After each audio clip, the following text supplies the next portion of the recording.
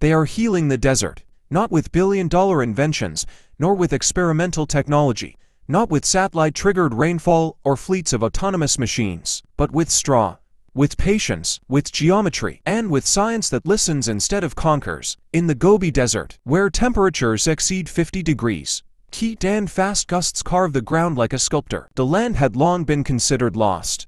The soil was broken fine particles carried off by endless gusts, stripped of organic matter, too loose to hold seeds, too dry to store water. But now, grids of straw cross the sands in 3 foot by 3 foot patterns simple, deliberate, and structured. This grid isn't just symbolic, it's scientifically designed to create microenvironments that break the feedback loop of degradation. The straw checkerboard reduces surface wind velocity by up to 50%. That alone changes everything. With less gusts, less sand moves. With less movement, the topsoil begins to settle. With settled soil comes retention of moisture, of heat, of stability. Gust erosion drops, Evaporation slows. The albedo of the land its reflectivity shifts slightly, keeping a fraction more warm each night, encouraging microbial activity below. Then, vegetation is introduced. Hardy, drought-tolerant species, deep-rooted grasses, leguminous shrubs that fix nitrogen into the soil. These aren't decorations, they're engineers.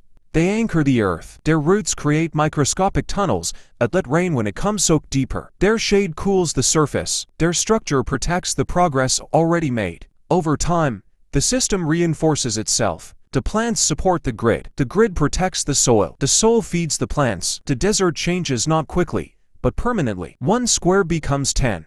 10 become fields. Fields connect.